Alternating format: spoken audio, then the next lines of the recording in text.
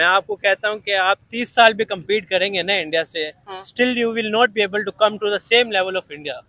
तो जनाब मोदी साहब इस वक्त डिमांड में हैं। PM Modi in big demand पूरी दुनिया में इस वक्त जो नज़रें हैं वो भारतीय प्राइम मिनिस्टर के ऊपर हैं। और आप देखें कि जो रशियंस हैं वो ढोलकियाँ भी बजा रहे हैं वो इंडियन ड्रेस भी पहन रहे हैं वो सारा कुछ कर रहे हैं। पाकिस्तान को जेलसी महसूस नहीं हो रही? पाकिस्तान भी अंदर से जेलस हो रहा होगा कि देखें जब हमें बुलाया जाता है तो हमें तो ऐसा इस्तकबाल नहीं दिया जाता। इंडिया हमारा दुश्मन नहीं है। अच्छा लेकिन हमें बताया तो यही जाता है ना। जो है इनको इनके साथ है। ये चीज़ें बताती हैं कि भारत की जो इनग्रेस है वो सिर्फ़ वेस्ट में नहीं है बल्कि रेस्ट ऑफ़ द वर्ल्ड में भी है। तो इंडिया के साथ हमारा कंपैरिजन नहीं है आप नेपाल से कंपैरिजन करो बांग्लादेश से करो अफ़गानिस्तान से करो उन्हों से आगे निकलो फिर इंडिया की सोच जाएगी। नमस्कार, आप सभी का स्वागत है हमारी एक और नई रिएक्शन वीडियो में। दोस्तों, आज की इस वीडियो में ना हम देखने वाले हैं प्राइम मिनिस्टर मोदी जी का जो रशिया विज़िट हो रहा है, उसको लेकर और भारत को लेकर ना पाकिस्तानी पब्लिक का रिएक्शन लिया जा रहा है, जहाँ पर जो पाकिस्तानी पब्लिक का रिएक्शन आ रहा है, वो देखने लायक है। तो वीडियो आप सब ना पूरी देखना लाइक करना। अगर आप हमारे चैनल पर नए हो तो सब्सक्राइब करके बेल आइकन को दबाना। तो चलिए वीडियो को शुरू करते हैं। वजह हमारी रिस्पेक्ट क्यों नहीं है पूरी दुनिया में? सर हम खुद रिस्पेक्ट नहीं करवाना चाह रहे ना। क्यों? ये भाई जैसे बोर्ड है इंडिया हमसे बहुत आगे है। ठीक है। मैं आपको कहता हूँ की आप 30 साल भी कम्पीट करेंगे ना इंडिया से। Still you will not be able to come to the same level of India अच्छा। आज से हम मेहनत शुरू कर दें ईमानदारी और सब कुछ फिर भी तीस साल लगेंगे उधर जाते जाते। नहीं पहुँच सकते। फिर भी नहीं. पहुँच पाएँगे। फिर भी नहीं पहुँच पाएँगे। इंडिया हमसे बहुत आगे है। ठीक हो गया। बहुत आगे है। आप अच्छा। जैसे भाई ने बोला आप ये बाइक देख लिया। आप कोई और कंट्री में जाएँगे निज़ाम बने हुए हैं। हर चीज़ का निज़ाम है। हर साल गाड़ी की पासिंग होती है। ही है। गाड़ी चेक होती है कि गाड़ी रोड पे चलने लायक है। आप देखें लूट की क्यों हो जाती है हमारे लाहौर में इतनी?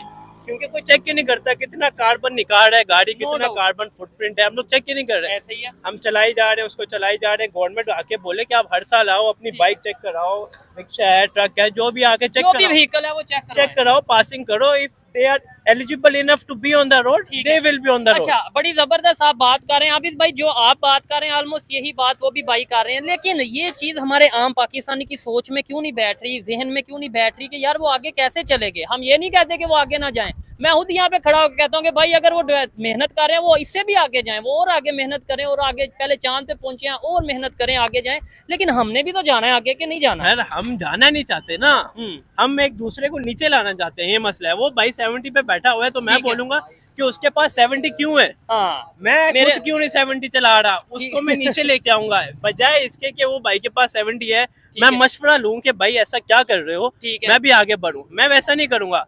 मैं बोलूँगा अल्लाह करे यार थले डिग जाए तो हाँ। मेरे को सेवेंटी आ जाए। वैसा नहीं हो सकता ना। हमें एज अ नेशन मिल के जाना है। ये चीज़ है। यूनिटी यूनिटी होना unity. ज़रूरी है। इंडिया में यूनिटी है। आपसे एक बात करना चाहूँगा।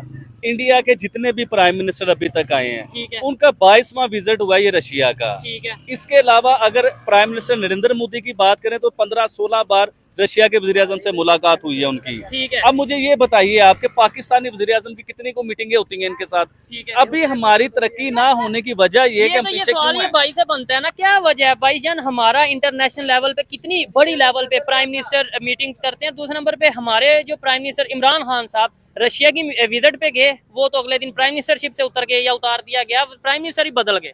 क्या फ़र्क है है इंडिया का प्राइम मिनिस्टर जाता है वेस्ट की ज़रूरत नहीं होती कि उसके खिलाफ कोई बात करें या कोई स्टेटमेंट दे। हमारा प्राइम मिनिस्टर जानता है तो इधर से आता है किसी निकाल दो। दूसरी कंट्री में ये है कि एक बंदे को एक ओहदा मिल गया है। हाँ। मोदी है आप सबको पता है कि मोदी पहले क्या करते थे? अच्छा। अभी वो मुल्क के प्राइम मिनिस्टर है।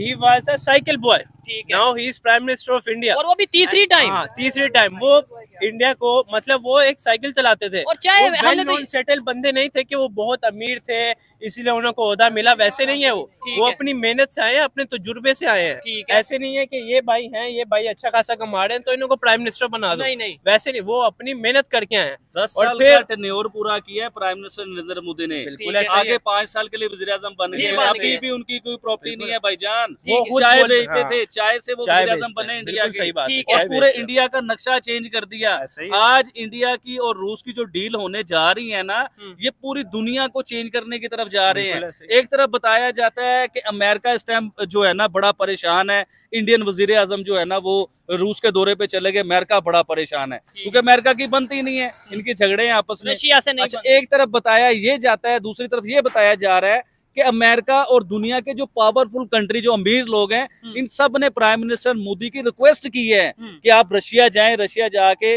उनके वज़ीर से बात करें आप यूक्रेन की हेलो हाई अच्छी है यूक्रेन की जंग को रुकवाएँ तो दुनिया जो है प्राइम मिनिस्टर मोदी को दुनिया की जंग रुकवाने के लिए इस्तेमाल कर रही है और हम इसे दुश्मन समझ के बैठे हम हम भी एक पाकिस्तान एटॉमिक पावर है। हम क्यों नहीं ये फलस्तीन का मामला हल करवा पाते? मतलब अगर वो रशिया यूक्रेन की वार रुकवा सकते हैं या उसके ऊपर बात कर सकते हैं हम हमारी तो हिम्मत ही नहीं कि हम कहें कि भाई ये जंग रुक जाए या बात हम एक इंटरनेशनल लेवल पे बात किस मुँह से कर सकते हैं? हमारे पास कोई ओहदा है नहीं है कि हम बात करें। हर दो साल तीन साल बाद हमारा प्राइम मिनिस्टर चेंज हो जाता है। अब अगर इमरान खान जाएँगे बात करेंगे लड़ाई की उसको हटा दिया जाएगा। शहबाज शरीफ जाएँगे फिर हुकूमत बदल जाएगी। हम्म। एक फेस नहीं है हमारे पास। हमारे पास एक फेस होना चाहिए कि वो फेस हमारे साथ दस साल पंद्रह साल से वो फेस चल रहा है ताकि दुनिया। को पता चले हम्म। कि भाई ये भाई है इमरान खान है शहबाज शरीफ है जो भी है। जो भी है। मैं भी कहता हूँ कि देखें हम किसी को भी क्योंकि हम इंटरनेशनल लेवल की बात करते हैं हम ये नहीं कहते कि मतलब नेशनल पॉलिटिक्स के बजाय इंटरनेशनल पॉलिटिक्स पे बात कर रहे हैं। लेकिन क्या वजह है? भाई मेरे आपका नाम क्या? उमर। उमर भाई 1947 में इंडिया जिस पोजीशन पे था पाकिस्तान भी सेम क्योंकि लाग इकट्ठा ही सफ़र स्टार्ट किया ना। आज वो किस पोजीशन पे हैं? हम किस पोजीशन पे हैं? और हमारे पॉलिटिशियन बड़े आसानी से हमें ये कह देते हैं कि भाई, नहीं इंडिया तो देखो ना, वो उनकी बात ही बड़ी ज़्यादा, इसलिए दुनिया सारी उनके साथ है। और कुछ तो इतने शाहकार हैं, कुछ तो इतने फनकार हमारे पॉलिटिशियन है, वो ये कहते हैं इंडिया नॉन मुस्लिम है। दूसरे जो दुनिया के काफर कंट्री हैं वो इंडिया का साथ देते हैं ताकि पाकिस्तान को नीचे दिखा सके। मतलब आज भी ये सोच हमें बताई जाती है। सर अगर आप पेपर पे जाए ना ऑन रिकॉर्ड पेपर पे आप जाके सर्च करें कोई भी गूगल पे हर चीज़ आपको मिलती है। ठीक है। पाकिस्तान से ज़्यादा मुस्लिम इंडिया में मौजूद है। हाँ ये बात तो किसी को बताता तो, नहीं। तो फिर क्यों सारे मुसलमान पाकिस्तान क्यों नहीं आ जाते? हाँ। क्योंकि उनको पता है की हम सेफ़ ही नहीं है। पाकिस्तान पाकिस्तान में। एक सेफ़ कंट्री है ही नहीं है। ठीक है? हम आपस में हमारा बहुत प्यार है वो भी हमारे पड़ोसी मुल्क ऐसा नहीं है कि कोई जंग है मगर वो हमसे बहुत आगे हैं। आप इवन क्यों ना छोटा बच्चा ले लें उनके पास इतनी नॉलेज है इतनी नॉलेज है कि शायद मुझे भी वो नॉलेज नहीं हो। एक पंद्रह साल के बच्चे को। ठीक है। मेरे जितनी नॉलेज इस, इसका मतलब इसका मतलब है उन्होंने अपने एजुकेशन सिस्टम पे वर्क किया और दूसरे नंबर पे। हमारी बातें शायद कुछ लोगों को थोड़ी कड़वी थोड़ी बुरी लगे लेकिन यकीन माने ये जब तक हम ये मुस्लिम नॉन मुस्लिम वाला कंसेप्ट या चूरन बेचते रहेंगे ना तब तक हम ऐसे रहेंगे आगे नहीं बढ़ेंगे। हमें इंसानियत की बात करने की ज़रूरत है। हाँ, में हाँ। आपको एक हैरान करने वाली बात बताऊँ आप हैरान परेशान हो जाएँगे। हम सऊदी अरेबिया को समझते हैं कि दुनिया में सबसे ज़्यादा ऑयल को सेल करता है और ऑयल से बहुत बड़ा पैसा कमाता है। है। आपको आइडिया है कि सऊदी अरेबिया ऑयल से इतना पैसा नहीं कमाता जितना पैसा एक साल में इंडिया आईटी एक्सपोर्ट करके कमाता है। आप समझे। Biggest IT hub in the world right now. दे अच्छा हम लोग डर जाते हैं। अच्छा एक और चीज़ आप बताइए मुझे। हम लोग डर जाते हैं रशिया से तेल लेते हुए। हम्म। हम लोग डर जाते हैं ईरान से गैस पाइपलाइन लेते हुए। इंडिया के वज़ीर आज़म तेल भी लेते हैं ईरान के भी साथ तल्लकात भी बेहतर करते हैं ईरान के साथ प्रोडक्ट आ भी रही हैं जा भी रही हैं। है। रशिया के साथ प्रोडक्ट आ भी रही है जा भी रही है। हमें अमेरिका आँखें दिखाता तो हम डर के अपने घरों में बैठ जाते हैं। हम बिल्कुल भी कोई ज़रूरत नहीं करते कि उनसे हम कुछ लेके दिखा दें या अपने लोगों का फ़ायदा करके दिखा दे। आज नरेंद्र मोदी उधर बैठ के ऑयल के प्राइस को और कम करवाना चाह रहे हैं। अपने कंट्री के लिए। अपने कंट्री अपने लोगों के लिए। तो हमारे वज़ीर आज़म हमें ये फ़ायदा नहीं दे सकते। ठीक है और हमारा तो अभी ये दो तीन दिन पहले सात रुपए या छह सात रुपए पेट्रोल पर लीटर बढ़ा है। मेरे भाई कैसे है? कैसे हम उनकी तरह सोच रख सकते हैं? कैसे एजुकेशन सिस्टम बेहतर कर सकते हैं या उनसे सीख कम अज कम सकते हैं? हमारे इधर तो सोच ऐसी डेवलप की गई है इंडिया का नाम लेना ही जो है ना वो समझ लें गद्दारी या दुश्मन या कुछ ये जी एजेंट टाइप माहौल बना देते हैं। यही सर जो पुराने सिलसिले चलते आ रहे हैं ना। वज़ीर आज़म जितने आते हैं, सब चोर हैं। नहीं वो कोई भी अच्छा नहीं है। इमरान खान अच्छा बंदा था। अच्छा। तो दोस्तों आई होप कि आपको ये वीडियो ज़रूर पसंद आई होगी और जैसा कि इस वीडियो के अंदर आपने पाकिस्तानी पब्लिक का रिएक्शन देखा है वो एक तरीके से भारत के साथ में वो कंपैरिजन कर रहे थे और जैसा वीडियो के अंदर भी वो कह रहे हैं कि अगर पाकिस्तान ईमानदारी के साथ आज मेहनत करना शुरू करता है तो 30 साल लगेंगे पाकिस्तान को फिर भी वो भारत की बराबरी तो नहीं कर सकता है लेकिन एक एक बढ़िया पोजीशन पर पाकिस्तान पहुँच सकता है। क्योंकि पाकिस्तान के अंदर जैसा हम सबको ही पता है कि उनका जो बजट वगैरह है, वो भी आईएमएफ डिसाइड करता है कितने ज़्यादा टैक्सेस अभी हाल ही में जो आईएमएफ के कहने पर पाकिस्तान की सरकार ने टैक्स बढ़ा दिया है, पाकिस्तान के जितने भी डीजल, पेट्रोल, बिजली वगैरह है उनके ऊपर तो महँगाई काफ़ी ज़्यादा है, पाकिस्तान में जनता काफ़ी ज़्यादा परेशान है। लेकिन फिर भी अक्सर हम देखते हैं कि भारत को लेकर पाकिस्तानी पब्लिक के साथ में जो है ना, इस प्रकार का कंपेरिजन होता रहता है। तो बाकी आपने पूरी वीडियो देखी है। अगर आपको कुछ कहना है तो कमेंट करके ज़रूर बताना। हम मिलेंगे अगली नई वीडियो में। तब तक के लिए आप सभी का बहुत बहुत धन्यवाद।